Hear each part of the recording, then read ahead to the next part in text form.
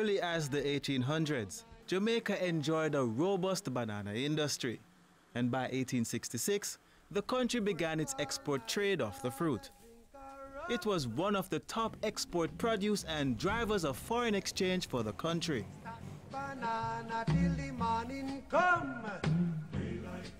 For years, the country and farmers alike enjoyed the success which saw up to 70,000 tons of banana being exported in 1993.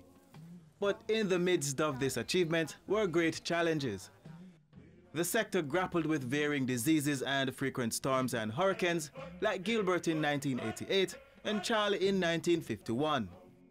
The banana industry also had to face trade liberalization, falling prices, and low competitiveness. This triggered a gradual decrease in export. The final blow to the banana industry and to the livelihoods of many farmers was the passing of Hurricane Dean and Tropical Storm Gustav in 2007 and 2008. During this time, export fell to its lowest level. Some 800 jobs were lost, with the closure of an estate in St. Thomas by a major stakeholder. Eventually in 2008, the export of bananas stopped. With the support of the European Union, a long-standing partner, which provided funding, the government of Jamaica implemented programs to revive the banana sector. Between 2009 and 2011, priority was given to strengthening the technical and administrative support teams of the Banana Board. And it was during this period that the EU Banana Support Program was established. Funding to support the undertakings amounted to over 116 million Jamaican dollars by the government as well as over 677,000 euros by the EU. This strategic approach to revitalize the banana industry would see production picking up and the resumption of export in 2011. The EU has been a great partner. In fact, it's our largest partner in the government and certainly in the agriculture sector in terms of grant resources. And those resources have helped to support in a very significant way. European Union has been supporting the banana sector since 1996, so it's not something uh, new and that commitment is very strong. Uh, we recognize the importance of bananas uh, to Jamaican people and Jamaican culture. Uh, unfortunately, the, the blow to the uh, exports in 2008 uh, has been quite difficult to recover from. So today we are trying to support the uh, the Banana Board and the Growers Association and the small producers uh, in order to uh, improve the, uh, their competitiveness, but also to assist them with uh, uh, technical expertise, to look at a variety of different types of bananas and plantains.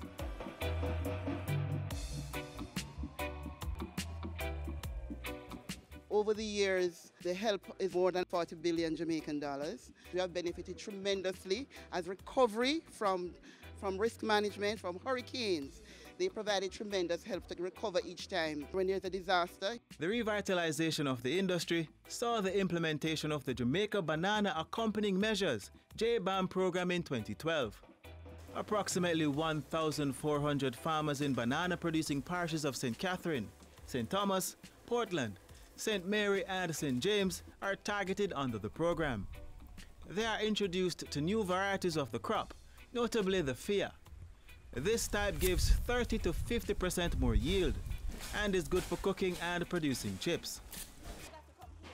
As the focal point with all Jamaica's international development partners, the PIOJ works with the Rural Agricultural Development Authority, RADA, to ensure that the funds provided by the EU support the country's long-term development goals.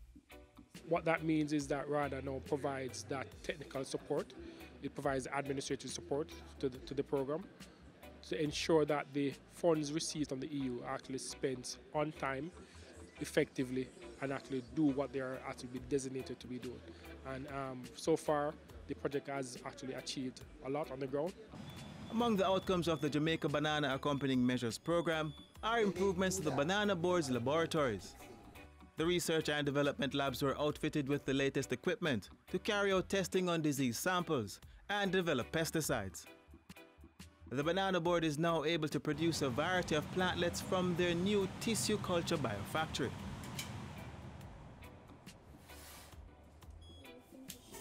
The projection is for the board to produce 120,000 tissue culture plantlets. That is to be supplied to participating farmers of the JBAM program per year. The calculated intervention by both the government of Jamaica and the European Union also allowed for the continued operations of the banana breeding station at Bodles in Old Harbour in St. Catherine. The Banana Board currently maintains over 150 varieties of disease-resistant banana plants. Also, JBAM supports the Growers Association through the construction of a $30 million processing plant. This will allow players in the industry to move up the value chain and benefit from the production of banana and plantain chips. And in the future, they can look at other banana products. So we are actually empowering the growers to be involved further along the value chain, which um, will provide more profit, more income to the Growers Association. Farmers also benefit from farm supplies at reasonable rates from stores operated by the All Island Banana Growers Association. The other thing is the availability. Because of our cash resource, thanks to the EU, we are now in a better position to improve on our inventory. So the availability of, of input material that is readily available to all farmers. Thirdly, from the assistance given to us, we were able to implement credit programs which our farmers could get assistance to resuscitate their farms and so forth.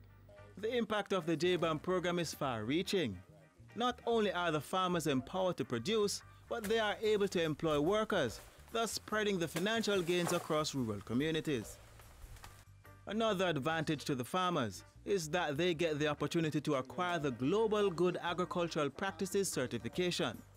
With this international standard, they are able to trade in the export market.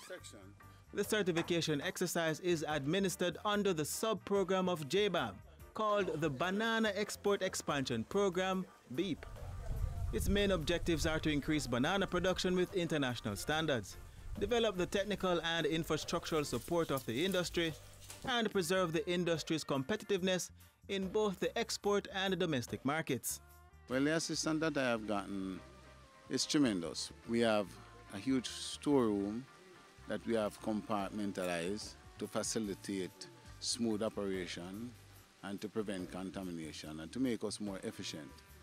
By ourselves, we would not have been able to. I've also received over $1.25 million in, in grant from this program, this B program, and this grant was used as infrastructural development. My farm is now certified as an export farm, so I'm now able to export my own fruit to various overseas countries. The Banana Board has seen a steady increase in the export of banana and wants to take it further. Our aim is to increase the overall production by 30%. Last year, we actually did 26%. So we are well on our way. Export markets currently include the Cayman Islands, Canada, the United States, and the United Kingdom. Looking to the future, the nature of EU's uh, partnership with Jamaica will mean that we will continue supporting the government and civil society organizations uh, in uh, trying to improve people's lives and that will be very much also relevant to the, uh, to the agricultural uh, area. The ministry has been guiding the, the agricultural sector in terms of growth. Um, we are very proud that the sector has been growing and supporting the Jamaican economy.